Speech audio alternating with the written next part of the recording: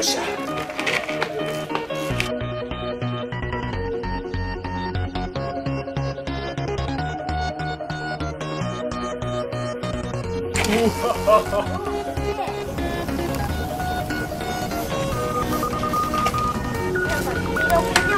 意外といったえそうそうそう。そしたら次も同じようにやってごらん。ほっ。ほっ。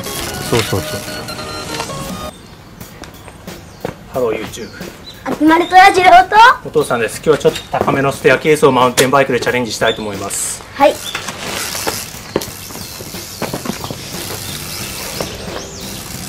結構高いです。ちょっとハンドルより高いぐらい。フロントタイヤの狙いはこの辺です。この辺にぶち当てて登りたいと思います。俺の背ぐらいはある。ないねだからよし。あ俺の胸ぐらいはあるステアケースのコツは？昔はあったけどねスケースのコツはビビらない。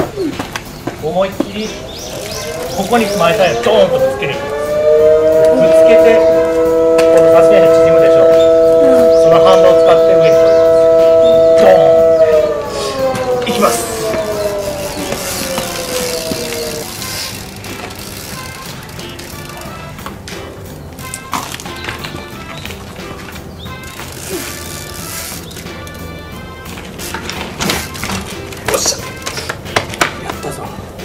げえいけたぞレテレッテテのことああテレテレっていいじゃん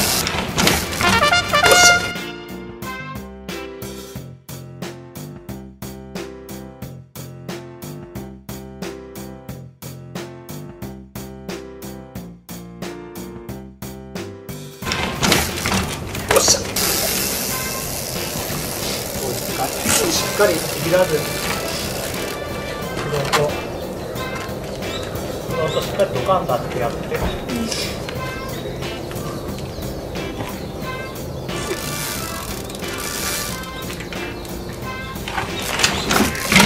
よっしゃ。この降りるんが怖いな。よっしゃ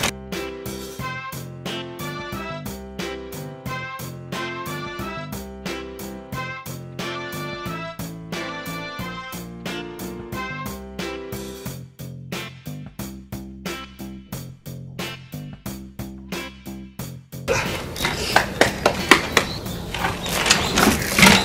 っしゃ。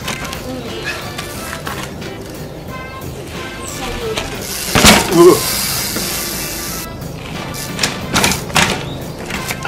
いや一応ビビるまあここはダム型ステアなんでうん。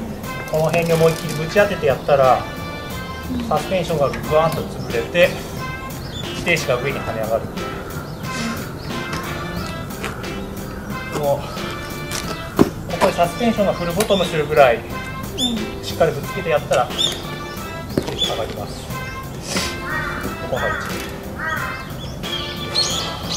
要す。るでも要するでしかもこれからこれで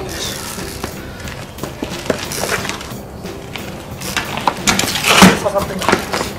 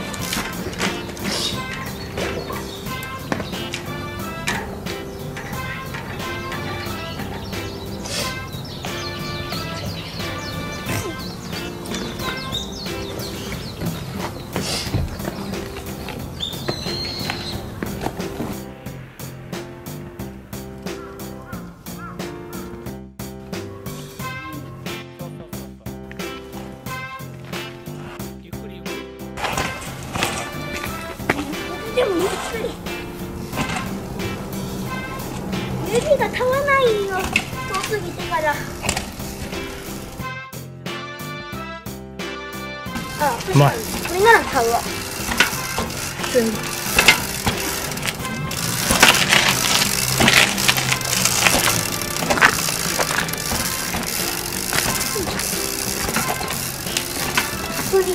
うん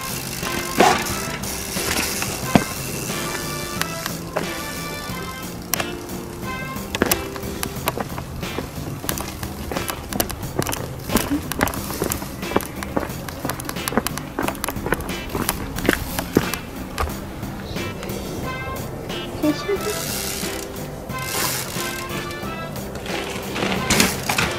っしゃ飛び降りるぞ結婚しなかったの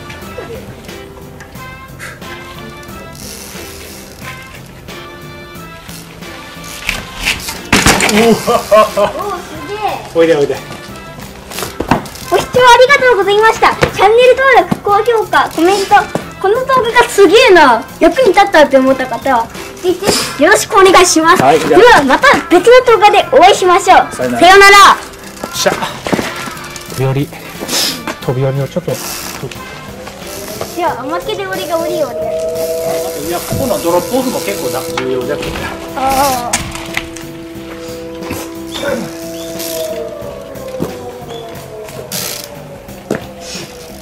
結構ここのここまでがボコボコしとって下っとるって難しいとちょっとそっち行くそっち行くね。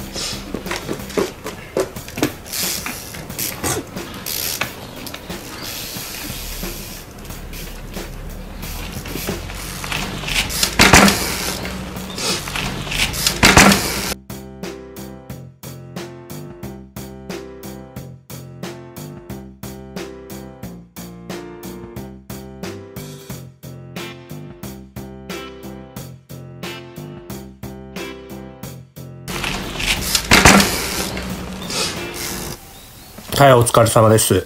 えー、っと まあステアケースにしろ飛び降りにしろ一番大事なのは利き足を合わせに行くっていうことが大事でこれ見てほしいんだけどちゃんと左足がちゃんと当たった瞬間と足がちゃんと利き足が前に来とる当てる瞬間と利き足が前に来る、踏み切れる場所に合わすんが全て、あそこのタイミングさえ合わせれたら、そういう、えー、と回し上げていくのと、フロントタイヤが当たるタイミングと利き足が来るタイミングをドンピシャで合わせるっていうことが全てです。それさえあ合わせれる技術があったら、ちゃんとみんな上がれると思います。そこのタイミング合わせが上るにしても下るにしてもね、下りもうん、下る時も見よってよ。あのこっから飛び降りるんじゃけど、リアタイヤがあっこの角を落ちる瞬間に足を合わせる。ちゃんと利き足に利き足が前に必ず来るように。落ちる瞬間にと利き足をうん。ドンピシャに合わせてやる。それができたら、まあ少々高かろうがひあの、問題なく降りれるはずです。こうやってマニュアル上げじゃないけね漕ぎ上げでウィリフロントアップしていくよりその時にこの落ちる瞬間、うんここ。ここで俺の利き足が左だけ。左足がしっかり前に来とったらあとはそのまま素直に落ちてやればそのまま衝撃を前に前に逃がすことによってらあのうん。ぴったし足が来とるでしょ、うん。利き足が。落ちる瞬間とうん。利き足が。そこで止める技術があれば誰でもあの高かろうが低かろうが安全に段差を降りることができると思います、終わりにしましょうか。